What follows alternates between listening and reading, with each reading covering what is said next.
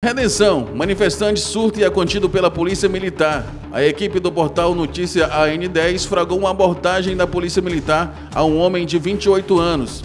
A responsável pela guarnição disse que Lohan Silva estaria entrando na frente dos carros e oferecendo risco a ele e ao trânsito.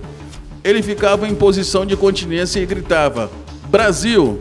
Foi necessário a chegada do reforço policial para conseguir imobilizar o homem.